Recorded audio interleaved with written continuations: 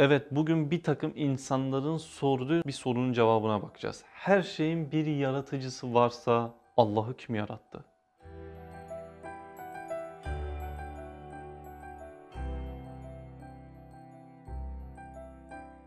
Şimdi bundan önce ilk başta yaratmak veya yaratılmanın manasını biz bakmamız lazım. Şimdi yaratılmak daha önceden olmayıp yaratıldıktan sonra var olmak demektir. Yani bir başlangıcı olan bir şeye yaratılan denilmesi lazım. Şimdi bu soruyu cevaplamadan önce yaratılmak, yaratılmanın ne demek olduğunu bir manasına bakmamız lazım. Mesela yaratılmak daha önceden olmayıp yaratıldıktan sonra var olan demektir. Yani bir başlangıcı olana yaratıldı denilir. Şimdi bir soruyu sorabilmemiz için ilk başta o sorunun o soru kavramından olması lazım. Şimdi mesela bir soruyu sormadan önce o soru kavramının içerisinde olması lazım. Yani mesela bir çiçeğe o çiçeğin rengini veyahut da o çiçeğin kokusuyla alakalı soru sorabilirsin. Ama mesela bir dairenin kaç köşesi vardır diye bir soru soramazsın. Çünkü o soru kavramının dışındadır.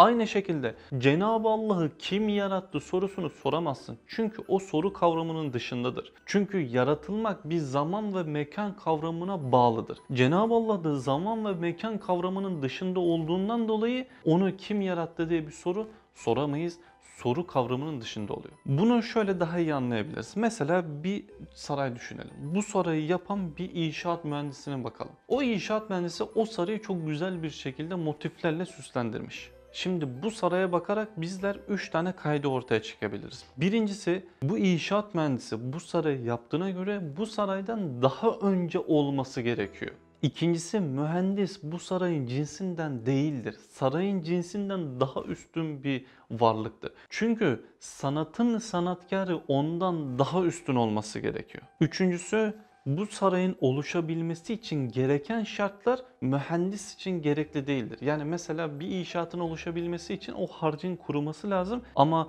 mühendisin oluşabilmesi için yani bir harcın kuruması gibi bir şart ortada yoktur. Şimdi bu saray örneği de bize hakikate yakınlaştıran bir dürbün olacak. Şimdi Cenab-ı Allah zamanı ve mekanı yaratmıştır. Zamanı ve mekanı yarattığına göre Cenab-ı Allah da aynı bu saray örneğindeki gibi bu zaman ve mekan kaidelerinin dışında olması gerekiyor ve bu zaman ve mekanın içerisindeki şartlar onun için gerekli değildir. Ve şunu unutmamamız gerekiyor ki hiçbir sanatkar yoktur ki sanatından önce olmasın. Şimdi nasıl ki o mühendis o sarayın cinsinden olmaması lazım. Aynı şekilde Cenab-ı Allah da zaman ve mekanın dışında ve onun cinsinden de olmaması gerekiyor. Bununla beraber zaman ve mekan kaidelerinin içerisindeki kurallar Cenab-ı Allah için geçerli değildir.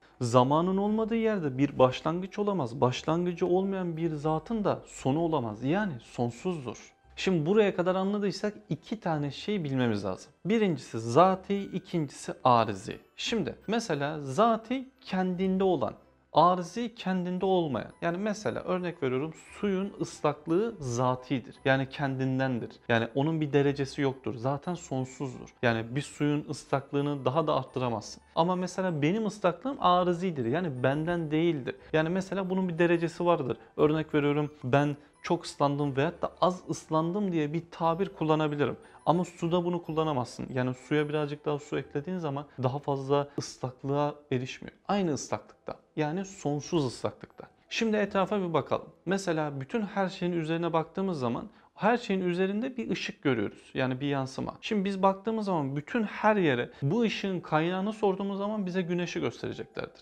Aynı şekilde biz ama güneşe gittiğimizde ya senin bu ışığın nereden yansıyor diye bir soru soramayız. Çünkü neden? Kainattaki etrafa baktığımız şeylerin üzerindeki ışıklar arzidir. Yani onlardan değildir. Bir yerden yansıyordur. Ama güneşe gittiğimizde biz ona sendeki bu ışık nereden yansıyor diye bir şey soramayız. Çünkü ondaki o ışık kaynağı kendindendir, arzidir yani. Gidip de o inşaatın içerisinde o inşaat mühendisini arayamayız. Ancak o inşaatı inceleyip o inşaat mühendisinin özelliklerini bizler tanıyabiliriz. Allah'ı da yarattıklarının içerisinde arayamayız. Zamandan ve mekandan münezzeh olduğu için Cenab-ı Allah'ın ancak esmasının tecellilerini bizler bu kainat içerisinde görebiliriz. Yani zatını göremeyiz. Şimdi biz şunu bilmemiz gerekiyor. Zamana ve mekana kayıtlı olan bir şey ne kadar büyük olursa olsun aynı anda birçok işi yapamaz. Yani mesela beni ne kadar çok büyütebilirsen büyüt. Ben hem burada hem de dünyanın öbür ucunda